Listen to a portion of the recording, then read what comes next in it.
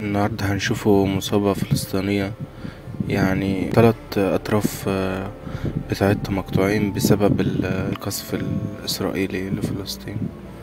يعني لا تعليق على على الصورة اللي انت هتشوفوها لا تعليق. للعالم للعالم شو رسالة؟